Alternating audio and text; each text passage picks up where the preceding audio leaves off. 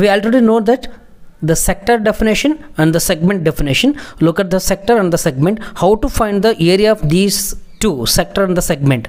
How to find the area of the sector of an angle theta? Here between two radius there is a one angle. It is represented by theta. Formula area of the sector of angle theta is equal to theta by 360 into pi r square. It is the area of the sector.